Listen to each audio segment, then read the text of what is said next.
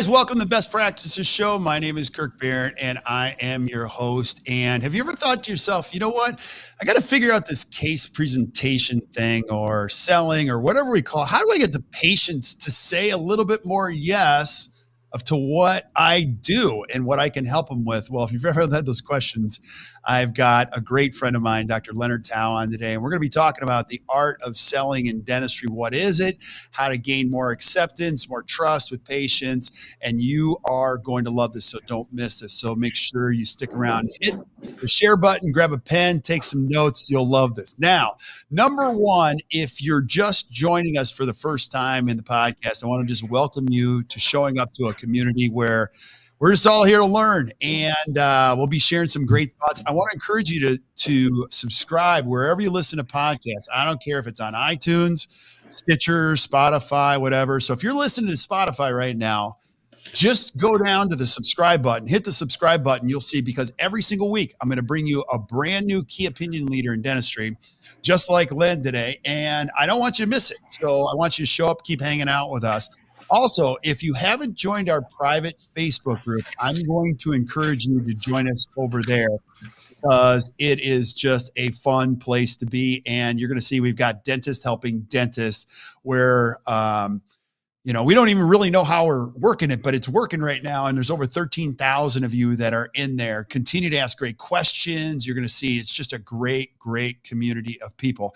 And lastly, if you are just a dentist and you're just like, what do I do with my practice? I want to encourage you to join us over at actdental.com. We're a practice coaching company, got a lot of resources over there. Act Dental U. Actually, there's a masterclass tomorrow, how to find the right people, put them in the right seats. You do not want to miss that. Also, um, if you just have questions around your practice or you just want somebody to speak to, we are always here to help. So make sure you check that out. We also do a lot of show notes. So after this is over, you're going to see everything that Len and I talk about I'm going to hand it over to our writers. Our writers are going to write all of this up and all the links, lens information, all that'll be just there. I'm going to make this learning as easy as possible for you. So, again, if you're just listening on your phone, you can just swipe up to the show notes and you can see what we talked about there and click on those links. Now, I want to introduce my guest because he's been a friend of mine for a long time. Len, I've known you for a long time. I was just on your podcast like about an hour ago, and um, we were talking about this. I met you at the Greater New York Dental Meeting. It was with your dad, and it was so cool to watch you. Now, not only are you a fabulous dentist, but you teach about a lot of things: social media, selling in dentistry. Um, I really love your story, even what you're doing now. And now you're a great speaker out there. You've been speaking at a lot of these meetings. But if somebody doesn't know who Dr. Leonard Tau is, let's start there and then we'll talk about the topic. Who's Dr. Leonard Tau? Well, I'm a dentist, as you nicely stated. I actually uh, practice in Philadelphia. I have a fee for service practice um, there, started uh, just shy of 15 years ago. Um, bought a practice who had passed away um, and I rebranded the practice. Um, started uh, learning how to do online marketing. Um, fast forward a couple years, started my own uh, reputation company uh, called iSocial Reviews, helping dentists um, basically get better reviews online. Um, fast forward a couple more years, that resulted in me uh, or having Birdeye, a company that I currently run the dental division for, um, acquiring my company uh, about a year and a half after I started it. I've been speaking for for almost 10 years now, a little over 10 years now, um, at a lot of different conferences around the country. Um, so I basically say I'm a dentist part time because I work Monday and Tuesday. Um, I'm a, a, speaker, a consultant. I help dentists with their reputation, like I said. Uh, I have a podcast which you commented on. You were just on it. Uh, I wrote a book, so I'm an author. So I've got my my hands in a lot of different things right now. Um, and the best part about it, I eloquently put on my podcast, is I love what I do, but I'm still enjoying my life. Um, I just moved to Florida um, back in October, so a couple months ago, and uh, so I commute up to my practice on a weekly basis. There was a big snowstorm this week, so I did not go up, and um, so de- part-time dentist, but um, basically a friend, an educator, helper, whatever is needed for me in the industry. Yeah. So our next podcast is going to be on how you can live where you want to and keep your business intact where you started it. So that'll be a good one. I just love your story and the fact that you're living in Florida now, you get to do what you want to do. Um, it's awesome. But I want you to talk about the why. Today, we're going to be talking about the art of the sale or selling. Some people don't like the word selling in dentistry, you know, like let's talk about why this is so important because I'll just start here. I think everybody sells something right? I go to church on Sunday. Pastor sells something. I have four kids that hard sell me every day. Like, let's talk about the why before we get into the how.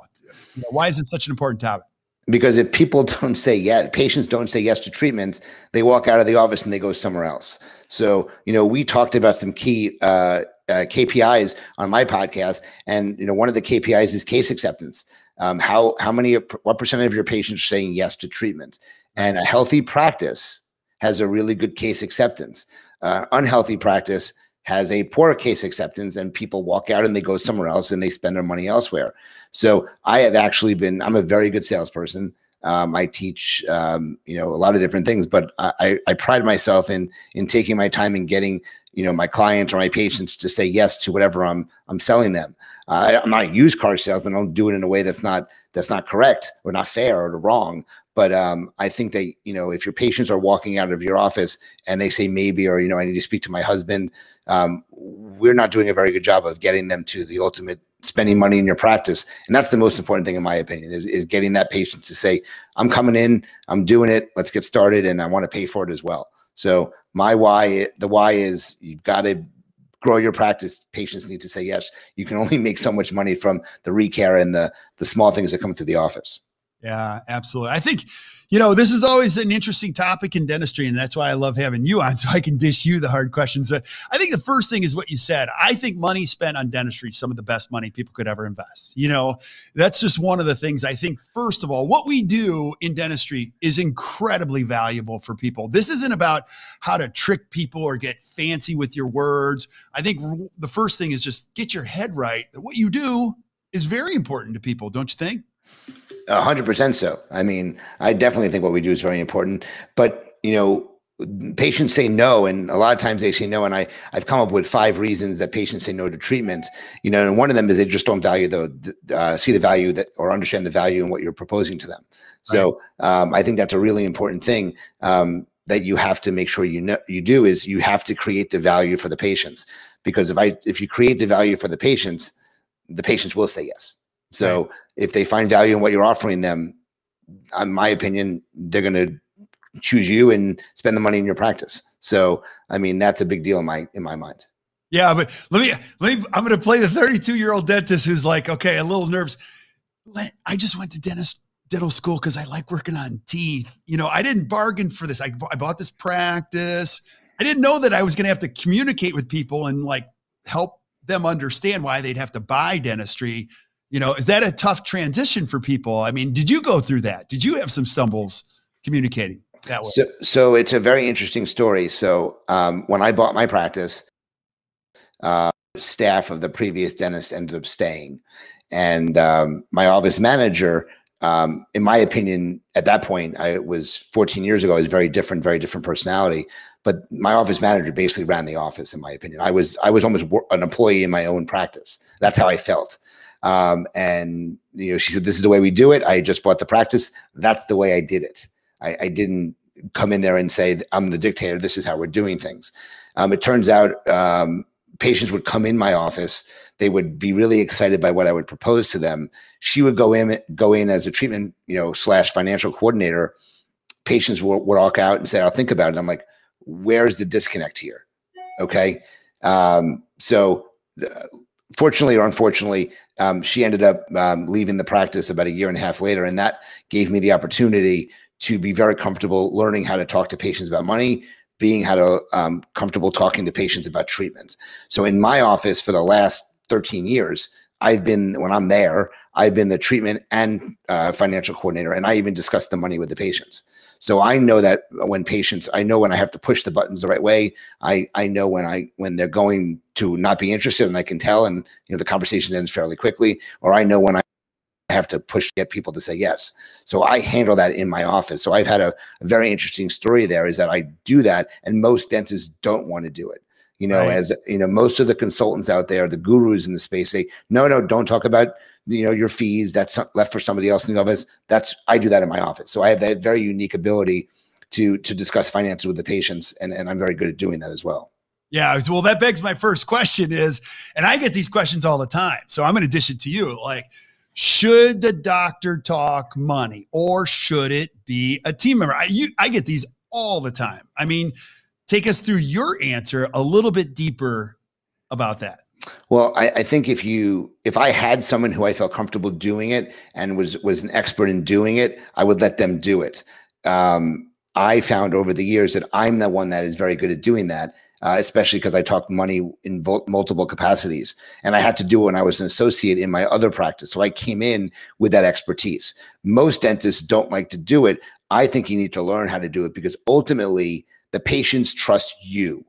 They right. come into the office, they trust you, they want to hear what they need, why they need it, and the cost involved. And if you can keep it to one single person, I think you eliminate a lot of the issues with patients having an opportunity to say, I want to think about it or no. Um, so like I said, I, am very comfortable doing it. Um, I now teach a class on, on how to have these discussions with the patient, proper verbiage, proper body language, um, things not to say, um, and how to follow up with them if they say no. So, like I said, I've just found my niche. My niche is the is the customer service that I provide. Um, the way that patients can reach out to me, they feel comfortable, and when patients feel comfortable and they understand the value, the money is not necessarily the the biggest issue.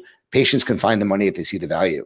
And, right. and so if you can connect those dots and you get to the end where you know, they tell you the price, you know, a lot of times it's it's expensive dentistry, but many times they are able to find the money or you're able to find the money for them using financing that's available to them.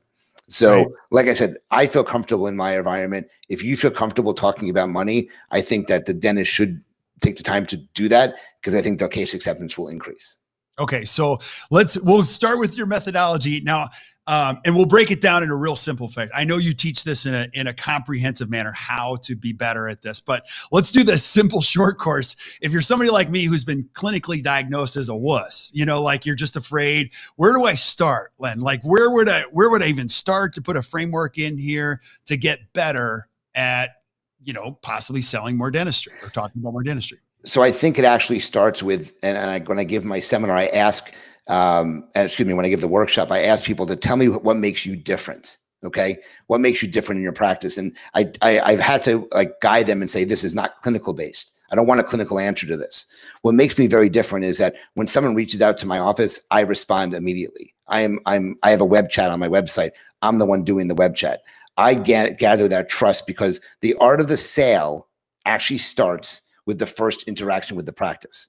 Now, I'm not worried. What I want to be clear here, Kirk, is that I'm not talking about a hygiene hygiene patient who needs some dentistry. I'm talking about the new patients who are reaching out to your practice to bring new blood into the practice. How do you handle them? That art of the sale starts in the very first interaction I have with them, and many times that's when they call in the office or they chat on my website. And I'm the one who answers those. I, I call new patients. I get them to trust me, to trust what I do. They've read my online reviews, so they already have the credibility online. Okay. Right. So I want to, I call it um, a, a, process of basically um, uh, getting the patients to relax in the chair enough where you can get them to say yes to treatment. And that's, it's called disarming the patient. And when you disarm the patient, you have to find if they are a wuss and you, you said you're a wuss, you're a patient, you come in, you're a wuss. Okay. What's the first thing you're scared about? You're scared about pain. You're scared about, you know, needles. You're scared about money. Money is a big thing. So a lot of times on that first call I have with them, and they they I'll give you a, I'll give you an exact uh, answer as uh, example to what happened with a patient. New patient calls the office. Oh, excuse me, chats with my website. Um, says that I, I, need to see a dentist. I haven't been to a dentist in many, many, many years, and a lower tooth just fell out of my mouth. That's what the person said to me. And she says, I want to have a virtual converse, conversation with the dentist. So this was during COVID. So I called her immediately. I introduced myself. And I can tell that she was even nervous talking to me. You know, you have those phobic patients. Right. And I said, Can you tell me what happened? And she said, I was eating something and my tooth just fell out. And she said it, she was 75 year old woman. She had not been to the dentist in over 30 years. Okay, that's a long time.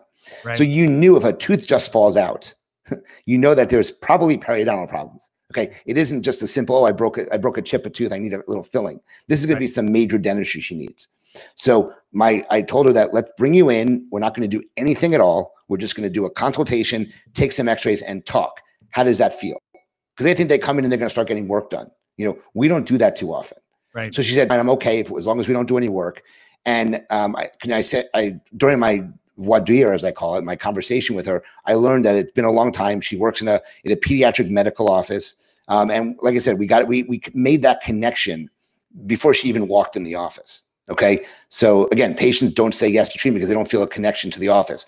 I connect with the patients before they even come in. Okay. Now on the phone with her, I said, it sounds like you may need a lot of dentistry. So what I would like you to do is determine it, when you come in, how much of a monthly payment that you can afford for your dentistry. So if we need to wow. spread out payments, I know how much you can, because if you can't tell me that, I can't help you get money that you may need. Okay. Right. So we made an appointment for the, go ahead. You're going to say no, something? So, so you tell them to consider budget before they even come in. When I'm on the phone with them like this and I know, and I know they need a lot of work done, and this has been, I do this on every patient and it's a pretty consistent result. That's why I continue to do it. Wow. So, so I have that. I say, just all I want you to do is think of a budget. Um, I don't ask them about their credit score till they come in the office, but think about a budget. Think about how much money you can apply to your dental work when we first meet each other. So she came in. Uh, she was a very short little lady, very nice, but you can tell she was nervous even walking in. We took the took the X-rays. She needed scaling root planing. She needed her four lower anterior teeth extracted. She would not get implants done. So we her canines were really strong. So we needed a six unit bridge. She needed about four other teeth extracted. So treatment was about fifteen thousand dollars. Okay. And I can, like I said, I had that. I can tell when you know she's comfortable. And I literally presented the treatment to her. I explained to her how I would would do it, the steps we would take, and I spent the time doing that myself. And then I I said, you know, I know on the phone that I had asked you about budgets and right. you know how you can afford. She goes, well, I, I listened to you. I looked at my budget, and I can spend seven hundred dollars a month on dentistry. Okay, so eh, one of the things I'm very good at is you, and one of the things I, I recommend your your listeners do is if you're offering any type of financing and they're doing no interest, you have to know how much month of money someone can afford. So if someone tells you I can afford three hundred dollars a month over 24 months, that's $7,200, $3,600 a year. Okay. Right. If it's 400, you have to know the numbers. If you don't know the numbers, you have to take a calculator out and figure out those numbers. I know those numbers like the back of my hand. Okay. So she needed $15,000 in treatment. If she's spending $700 a month, okay, that's $8,400 a year, which is $17,000. So I knew she can fit that budget within a two years, no interest. Right. Okay. So then I said to her, I said, How's your credit? She goes, My credit's perfect. Why? I go, Well, I can get you a payment for less than seven seven hundred dollars over 24 months. How does that sound? She goes, If that's the case, let's let's get going. I went on to CareCredit site, helped her apply. And I, by the way, I do that as well. And we can talk about that in a little bit. Uh, uh, some power tips on on how I'm involved with the financing part of it. But I went online with her, got her approved, and she left the office spending 15 prepaying fifteen thousand dollars. So, yeah. you know, that's kind of the process I go through with patients. I take the time to spend with them because it's a lot of money for me. It is. It is. That is going to be a. I, I want to do a whole show on the whole CareCredit thing because I have my own opinions. A lot of people say, "Oh, they they just don't know how to utilize it. They don't know how to think like this." Because answer answer this. This is true. For, Len, you're not negating what they say. You're going to take whatever they give you and you're going to put the pieces together, right? Like it's not about no, no, no, or yes, yes, yes. Just, I want you to think about this. I'm going to take what you have and let's start talking about your health, what you need, and put it together in something that works for you, right? Yep. And it, has to have to understand the value. They have to respect. I, I want to be respectful of the the money they can afford. So she came in and said, "Look, I can afford three hundred dollars a month," okay, three hundred dollars a month okay, is seventy two hundred dollars. That's she's not going to pay for for fifteen thousand dollars with seventy two hundred dollars no interest. She can't. Okay, right. so then I have to look at what other options there are. So I've had people that needed a lot more dentistry and, and can't afford that much, and I have plans that I can get them that will spread payments out over thirty six or forty eight months, and they, they do get charged interest. Okay, they do, and they and they recognize that. But these people sometimes don't have another way to get the money anyway, and they need the dental work done. So this this this process of me speaking with them, getting to know them better, getting them to to um, trust me, um, getting them to disarm in the chair allows me to get them to say yes a lot of the times as long as I can get them money. If I can't get them money, they have horrible credit, and I can't get them money, then the situation changes because then they can't afford the treatment. Right. Right. Now I want to go back to one thing that you said. You said call chat versus chat. Like that is something most dentists don't understand. A lot of people are still stuck in the the phone thing. I think the phone is crazy important. But now a dentist like go back to that. How much call versus chat do you get on your site and how important is that in the first component of selling? Like one of the one of the most important things I've I've ever added to my website was a chat button. So I've was I'm an early adopter. I'm a tech guy. Okay, I I've had a chat on my website since 2012. So nine years now of of one way or another. I first had a company called uh, called I can't remember the first name of the company, but it, they they they were they closed down after a few years. I switched to another company, so I had a managed chat service. And I remember, and I'll give you tell you a quick story. Um, I was giving an Invisalign seminar in Calgary on Calgary, Canada, and went on my website and chatted and says, "I have my teeth are loose. I need to. I want a full mouth set of extractions and, and a, like an all on four. Um, I've reached out to other practices. Nobody's gotten back to me. The second I got that call or that chat, I called them from Calgary and told them I was in Calgary. So obviously, they're very impressed with that. The woman ended up spending thirty thousand dollars in my office because I was I connected with her right away. So the chat allows me another opportunity to reach out to patients who are trying to interact with the practice. Patients who are scared don't necessarily call the practice. They're going right. to chat with you online. So I, I've made so much money because of the chat, and I've had it for such a long time. So I believe a chat service on your website is one of the most important lead generation tools that you can have. Right. Because people call it all out. You get those chats at all hours. Yeah. I just got a chat. Um, two weeks ago, 12, 18 in the morning. I'm sitting on my phone and someone says, um, my mom, my mom uh, is a patient in your office. Um, I've been told for many years I need veneers on my six front teeth. Um, I, my insurance isn't active yet, but can, when, when, can I get in to make an appointment for a consultation? I texted her at 12, 19 when she was at, at 12, 18. She was so impressed that I took the time at that time of night to chat with her. She came in the following week and spent $7,500 in my office. Wow. That's awesome. That is awesome. So let's break down some other components. What do dentists get wrong in looking at the art of selling? Well, they don't listen. So one of the, so there's five wait, reasons. Wait, wait, wait, wait, wait, what, what are you saying? I don't know what you're saying. What are you, what are you talking about? we don't listen. Dentists. I was a horrible, horrible, horrible listener. So I've I've had a coach um, uh, help me when I first bought the practice, and she would wa- watch my treatment presentation, and she said, "Len, you don't listen to your patients. I'm like, of course I do. She goes, Len, you need to record yourself and watch because you're not listening. So I actually took a listening class. Okay. I, listen, I was coached to listen better.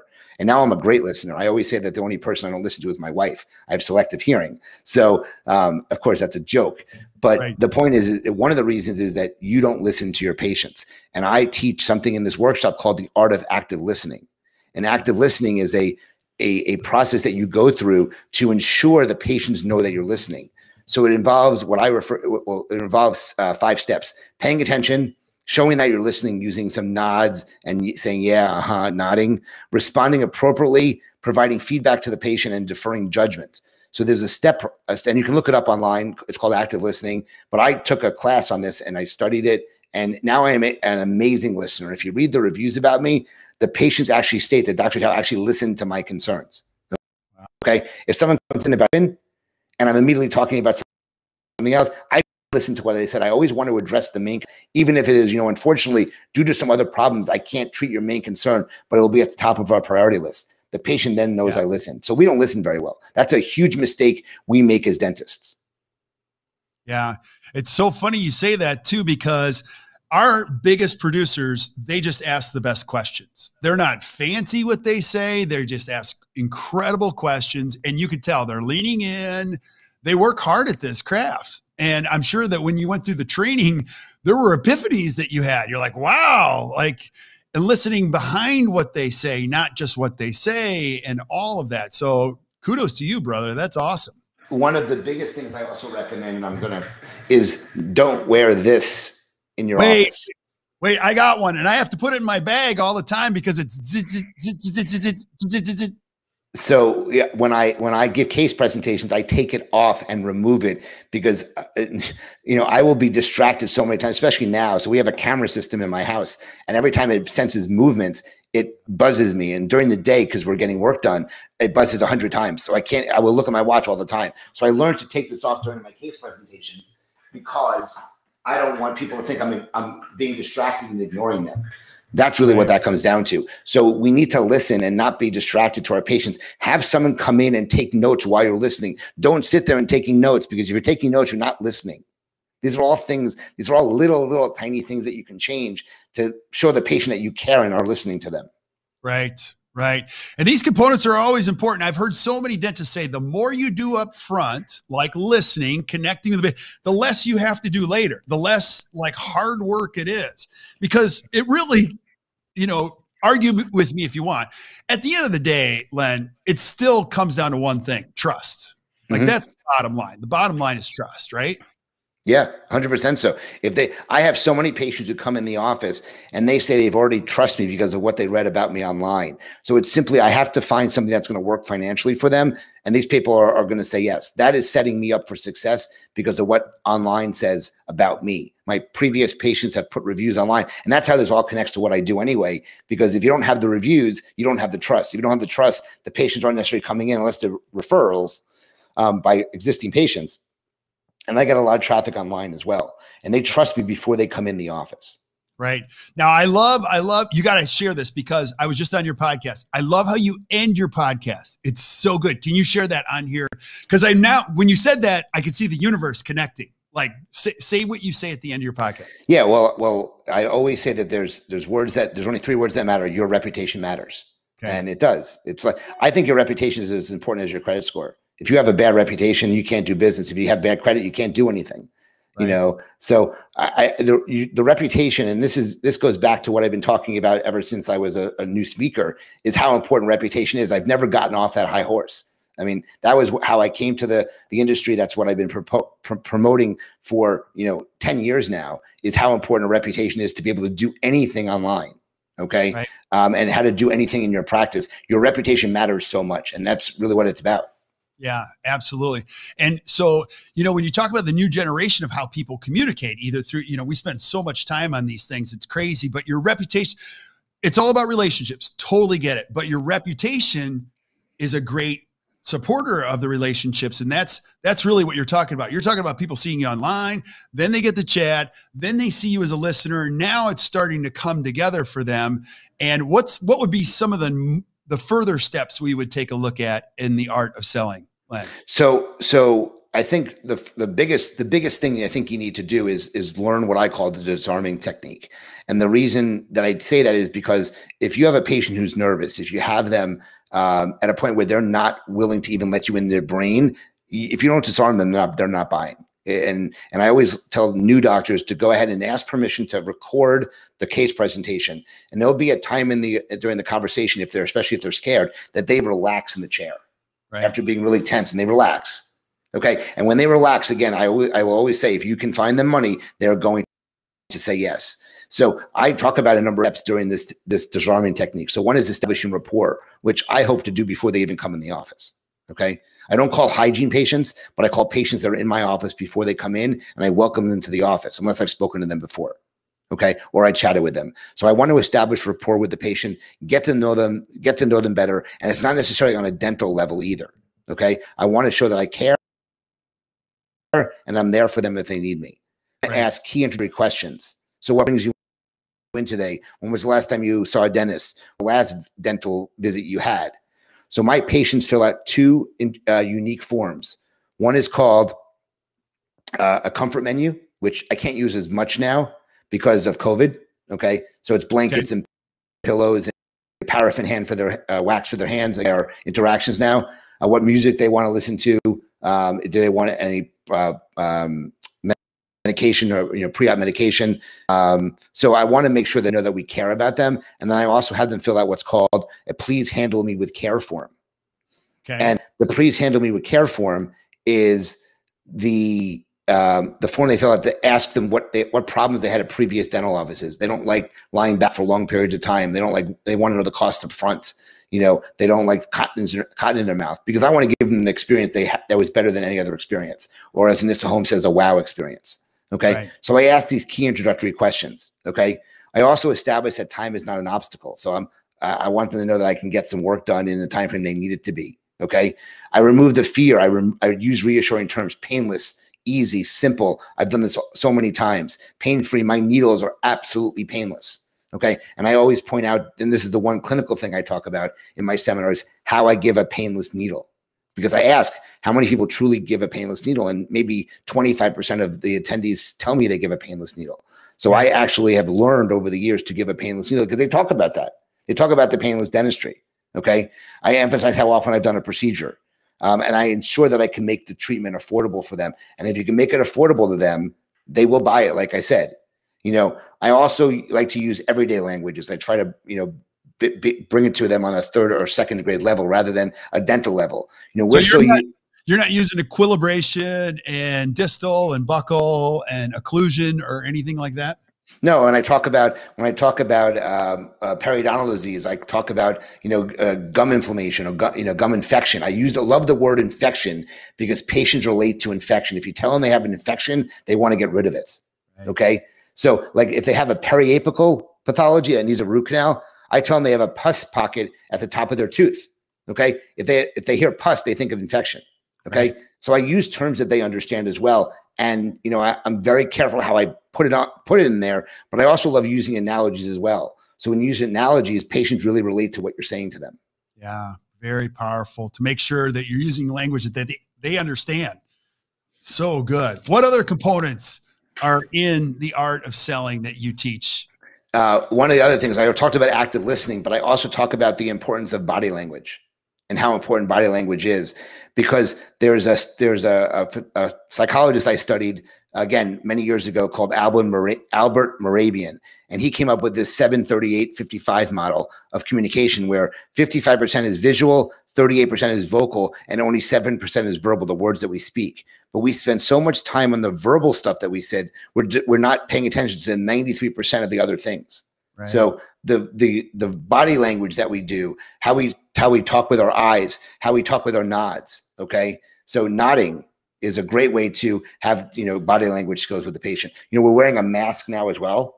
So, you know, it's hard when you're wearing a mask to smile, but smile is a great body language skill. So if yeah. I'm at a distance from a patient now, I have this big smile on my face. It shows I want, I'm, I'm happy to see them. Okay. Now, when I go speak, see them in the chair, I obviously put a mask on. So it prevents that. So body language is something very important I talk about as well. It's the art of eye contact. Okay. Yeah. So you want to squint when you're listening. You open up when you want to say something. You want to squint when you, you know, so they know you're understanding them. These are things you're, these are so inconsequential, but the patients will pick up on it and it's in their mind that you're listening to them. And that's really, really important. Okay. Yeah. So the art of eye contact is one. And then it's, there's nods as well. So you have the single nod, which just means like I'm doing here, you right. know, really shows someone you're listening. Okay. Okay. You, you also have the multiple nods. I'm not talking about a bobblehead nod. It's just the, the multiple nods basically makes them sure, makes them show you understand what they're saying. Okay. Then you have the exaggerated slow nod. Okay, which is like what? Like that. Ah, yeah, I, I see. Uh, the exaggerated slow nod. Again, it's so imperceptible, but the patient will pick up on that. Okay. And the and the best one is is the suggestive nod. So when when somebody is saying, um, when I say to someone, so you know, if I go ahead and get you some financing that you can afford, you're going to go ahead and accept treatment, correct? So, you know, it, it's that suggestive nod that you're doing. So if I can find money for you that you can afford, you'll be able to, you'll go ahead and accept treatment. So it's just a nod doing that that they're picking up on. They're they're going to say yes to that. How else would they? They're, they're going to go no. Right. So th- this, it's called the again. It's it's the importance of body language, and again, it's Albert Mehrabian study that you can look at. That's really yeah. really powerful. I'm gonna try with teenagers. So I have teenage daughters. You're gonna be home at 11 o'clock, right? Like like we talked. yeah, eh, eh, like that's that that should work. You know, you don't have to be you don't have to be as as like suggestive as that, but right. you know, it should be more imperceptible. You know, if if if I and you can do this if um so you you've got curfew tonight or whatever you want to say to them. You know, I'm, i can expect you home by seven 11 o'clock tonight, right? Right. Oh, so wow. just that is really really important as well. You, people think I'm nuts when I teach this and I do it very well live, but virtual. And I show them, I take off my glasses so you can actually see it because I have a reflection in the screen. But people think I'm nuts when I do this. But when they actually work on it and practice it like I practice it, I practiced it. The, the body language was probably one of the biggest uh, increases in my case acceptance by learning how to do that. Yeah, no, I don't think you're nuts at all. I mean, when I was 25, I had a mentor make me take the Dale Carnegie course. And my first thought was, I don't need to learn how to shake hands and like make, but uh, it was 11 weeks and I'll never forget. It was some of the most foundational stuff. How to even take a compliment like a lot of times we deflect compliments but there's so many things and it's very interesting that you talk about this because we've got another generation. I don't i don't ever want to put people in buckets but there are sometimes when we get clients or dentists that are young they don't know how to make eye contact. They i mean they got i'm like look at look at the patient. No when you're talking like look at them because they're looking down at something or they'll be looking at a screen or something and i'm like reference this is a human that's attached to these teeth type of a thing. So I think we can't spend enough time on the things that matter um, as they as they relate to more connection with human beings. A hundred percent so. And if you don't connect, they're not buying from you. Okay. Right. It's that simple. If they don't feel a connection, they're going to go to someone else. They're going to say, you know what, I want to think about it, and you'll never hear from them again. And part of that reason is, is we have a very, and I'm sure you see this, we have very poor follow-up skills in our practice. When a patient says maybe, most practices have no way of reaching back out to them. Right. You know, they, they go they go one day, one week, one month, two months. but if you don't have someone doing it and doing it effectively, these people they're not going to reach out to you. You have to do the follow up with them, and we're not good at that. Right. Right. That is so true. That is so true. So what else do we need to know about the art of selling? Like what what what what about when it comes to the fees and the specifics yep. and then because that's I mean I, I got a reference Linda Miles told me years ago. She said, Kirk, 70% of all case acceptance failure happens between the clinical conversation and the money. Do you think that's pretty true from your observations or not? Or is it a little bit more skewed than that? No, I, I think it's in, you know, patients if you if you get them to understand the value of what you're giving them, I think the financial conversation is much easier. If patients don't value what they're getting, it doesn't matter how much you pres- charge for something, they're, they're going to say no. So I think that's the big disconnect that people have sometimes. But I think, um, you know, and that's why I want to do it myself, by the way, because when I left the office and passed it off to someone else, that whether it was a couple minutes or a couple seconds, there was a definite change in the way it, it, was between me going in, me leaving, and then someone coming in and taking over the conversation. So I actually prefer to do it myself because I just sit in the room until they either say "go screw yourself" or or yes, I'm accepting treatment. I mean, that's really what it's about. Right. So I, I think what whether it's a, a, an office coordinator or you know treatment coordinator or a dentist, you have to be comfortable asking specific questions when it comes to money. Right. Okay. And one of those questions is how much money can you afford? Okay. How much of a monthly pay, pay uh, payment can you make? Okay. And do they have good credit? So okay? do you ask the patients that if they? Oh, 100 percent so. Okay. And, I, and, and here's why, because I because CareCredit is which is a great company and I use them a ton, doesn't give does not give money to everyone. So if you're only using CareCredit which I did for quite some time. And again, I'm a huge fan of CareCredit. I use it all the time. Um, I was missing out on because they only basically approved like 60% of my patients. There was a 40% of my population that would not get money. And that's because they didn't have the best credit. Okay. So, one of the tips that if you're going to use CareCredit um, and you're not in California, you can actually help the patient apply for them. Now, I do it on the, the patient side, not the doctor side. Okay. So I'm on the patient side, not the doctor side. So we, I help the patients, and I say to them, "Look, uh, there's an application that you can fill out. I'm very fast. I have all your information here. Can I help you fill out the application?" Okay. Well, when if they get if they get uh, approved, we can celebrate together. Congratulations, you got twelve thousand dollars. Okay. But if they get denied for whatever reason, it tells the, them and it tells me what their credit score was. So yeah. I know if I can then look at other companies out there. So I have companies that will go as low as five 55, 60 and get them money. And again, the people that don't have good credit know they don't have good credit. Number right. one. Okay. I've only had probably two or three people ever that says I have really good credit and their credit really is lousy. Okay. Um, so they know. And if they say it's good and they don't get approved, there's usually some reason for it. Um, but I know that information and I can take it and decide, can I get them money from another company? Right. So one of the companies, good. No, no, you, you go, you go. And I have a question after you say what you say so one of the companies that I, I use is a company called LendingPoint. Okay. So LendingPoint will, will give you up to $15,000 in money, the patient $15,000. And if they have, they have no interest options, uh, 24, uh, excuse me, uh, six, 12, and 24 months, no interest financing options. Okay. And it's five, seven, or 10% to the practice, which is cheaper than some of the other companies that are out there. But if the patient has to finance, whether it's three years or four years, it's a 1% fee to a practice. So if you're doing a $10,000 loan, they're only charging the practice $100 for that loan. That is a bargain. That's bargain money. That's better than even a credit card. So wow. that's why you need to look. And there's another company called Scratchpay that I highly recommend. They're in, they were big in the vet space. They charge a flat rate of 7% to the practice. Again, less than ideal credit scores can use them.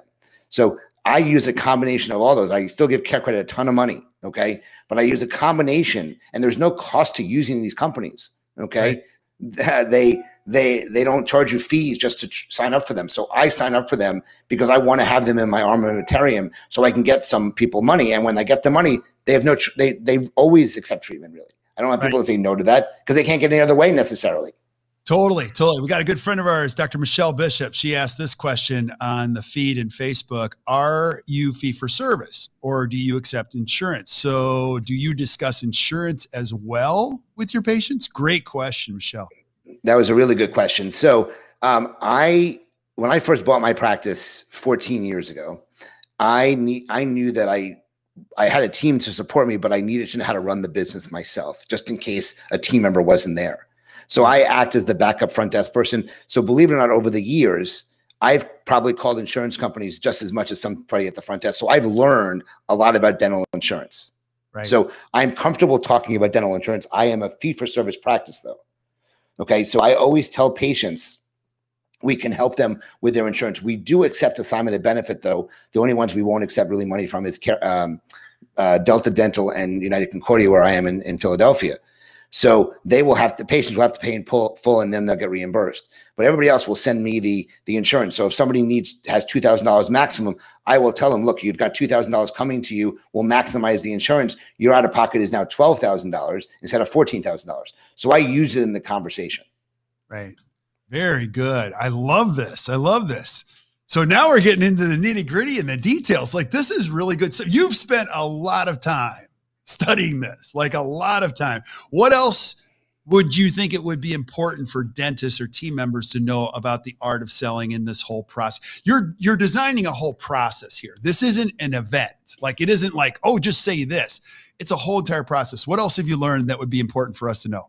So on how to handle patient objections, there's certain ways to handle certain questions they they they say. So that if that's too much money, Okay. Well, you can break things up. You don't. And by the way, I want to mention I phase a lot of treatment. Okay. If someone needs a ton of treatment, I do not want them leaving because of sticker shock. So I right. ask them, can I phase treatment for you to make it more affordable if I can? If they need a full arch done, I can't phase it. But if I can do a quadrant over the couple years, it, the, the price to them seems less. I when so p- handling a patient objection is a big thing. I like to present if something is, by the way, is let's say it's five thousand dollars. Okay. Um, you know, I always tell them, I always lead my how much money it costs. I don't say, oh, your treatment's five thousand dollars. Okay. I say it's yay money over 24 months if you get approved. So that is the cheapest it's going to be for them. So they know that they can make a monthly payment of, you know, $250 over 12 months, you know, twice, you know, over two years. That's going to make the money that they need. Okay. So I always present to them first. I give the second option in my office. They can pay over time. So if it's a crown, it can be two visits. If it's a denture, it's five visits. So that's the second option. And the third option is they can pay in full, which is always going to be the most money. It sounds like $5,000. I'll give you a 5% discount if you do that. And they save 250 bucks.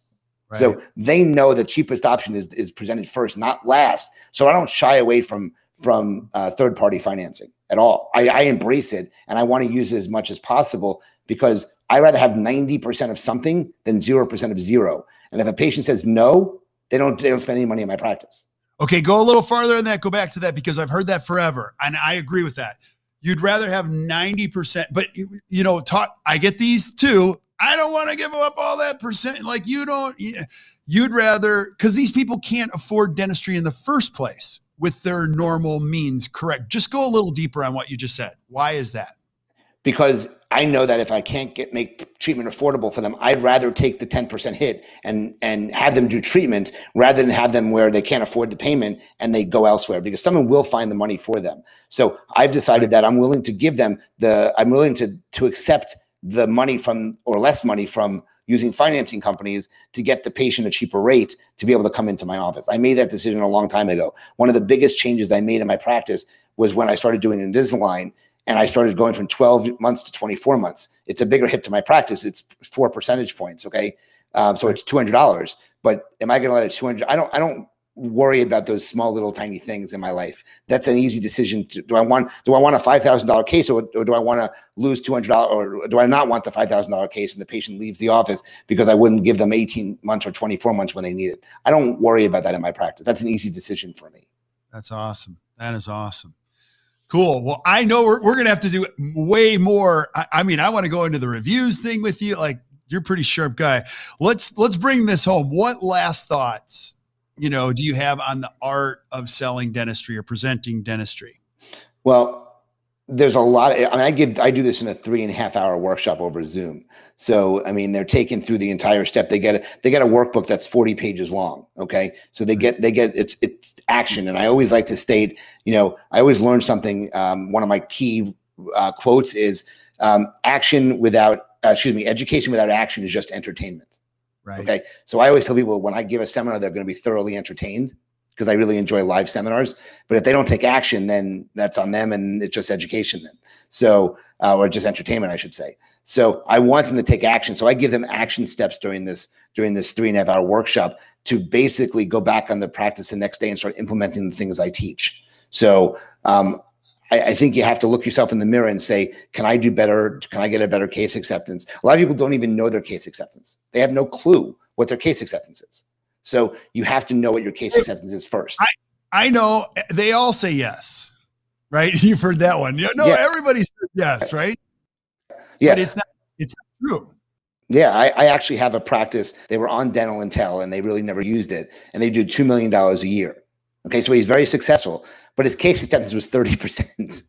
So even if he doubles that, you can just imagine how much, how much, because the benchmark should be about 85% case acceptance. And my definition of case acceptance is a little different.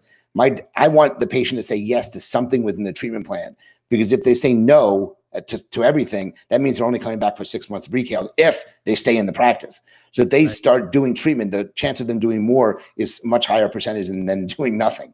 So um, that's just a very big part of, of what I do. So you know, look, if you if you look yourself in the mirror and say, you know what, I need help with my case acceptance, my advice is is to take my workshop. It's not expensive. It's a very it's three and a half hours. It's it's recorded so you can show it to the rest of your team, um, and it's a lot of fun. We have a blast. Um, it's not it's over done over Zoom. There's only like 12 attendees maximum, so it's a very small group of docs um, or or team members, and um, I think it will be really helpful to them to to learn the way I do things as a practicing dentist, but someone who's taken the additional steps to learn how to run their business.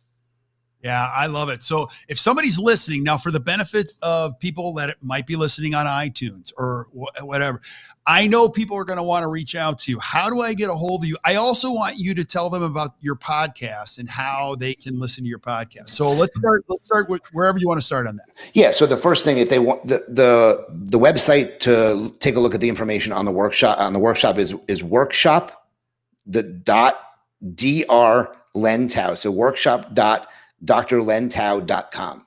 That okay. will take them where they can look at the everything about the workshop. They can sign up for some dates. Um, there's multiple dates available, so they can sign up and look to see what's there. So that's number one. If they want to contact me directly, they I'll give you my cell phone number because I'm uber responsive. They can text me. They can email me. My email is there, len at drlentau.com. Uh, and my said I'm fine giving it out. Um, is 215 292 2100. That's my personal cell phone. My phone's been buzzing, but I am responsive. And I always tell people if I'm not responsive, it's because I'm drilling in someone's mouth, I'm sleeping, or I'm in the air and I can't respond, or I'm giving a workshop or a presentation, and this counts as that. So, um, but I'm uber responsive. Now, my podcast um, comes out Fridays at 1 p.m. It's released on a weekly basis. It's called the Raving Patients Podcast raving patients.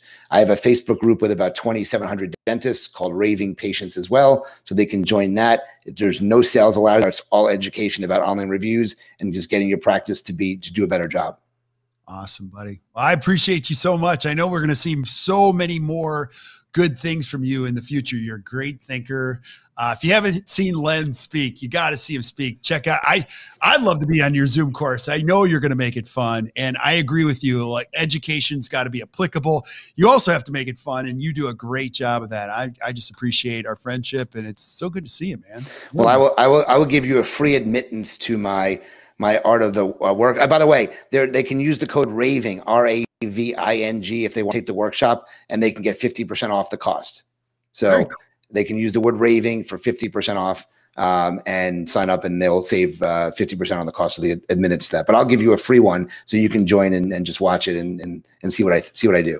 Oh, dude, you're the best. Um, so awesome, awesome. Well, I really appreciate you, brother. Stick around while we say goodbye um, to everybody else. And that's my iPhone wristwatch ringing. I, I got to turn that thing off or hide it or do something.